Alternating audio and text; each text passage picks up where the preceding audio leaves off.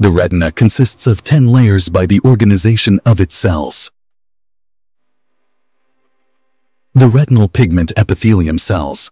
The photoreceptor cells are the rods and cones, which consist of outer segments towards the RPE cells and inner segments, then the cell's nucleus.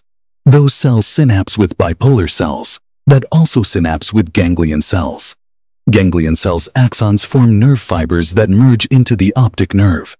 Other important supportive cells between the bipolar cells are the horizontal and amacrine cells.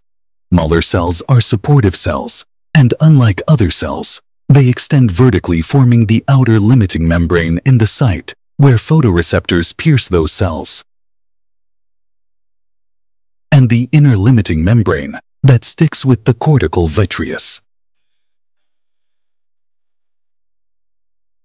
All those cells form 10 layers organized from outward to inward. The retinal pigment epithelium layer, then the segments of the photoreceptors. Then the outer limiting membrane, followed by an outer nuclear layer consists of photoreceptors nucleus. Then an outer plexiform layer between the photoreceptors and bipolar cells. An inner nuclear layer is formed by the nucleus of bipolar cells. This layer also has the horizontal and amacrine cells. Then we have an inner plexiform layer between bipolar cells and ganglion cells, which form the ganglion cell layer. The axons of those cells form the nerve fiber layer that gather in the optic nerve, the inner limiting membrane formed by the basement membrane of the Muller cells. The outer third of those layers is supplied by the posterior ciliary arteries through the distribution of nutrients from the choriocapillaris, while the inner two-third of those layers is supplied by the central retinal artery through two capillary plexus.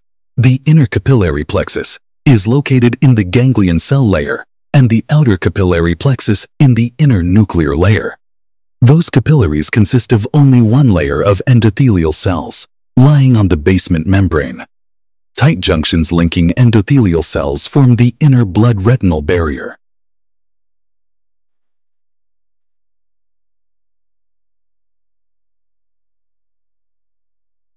Pericytes with their processes are located around the endothelial cells and have contractile properties.